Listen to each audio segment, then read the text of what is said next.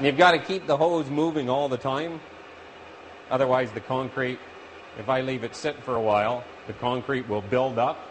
With this controller, Sean Robertson could be pouring a concrete slab on top of a five story building. There's no difference to it whatsoever. All the controls make the truck do exactly the same thing. Only he doesn't need a building or concrete. So you can see I've hit the side of the building.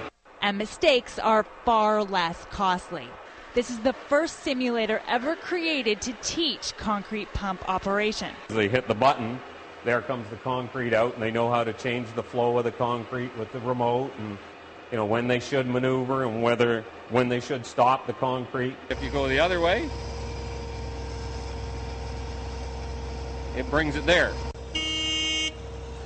So I've just had about five minutes training on how to operate this complicated piece of heavy machinery. I'm now considered legally qualified to operate it. Some of them are up to 200 feet long, when, and they're full of concrete, and you can actually lay them down flat and everything, so there's been a lot of accidents.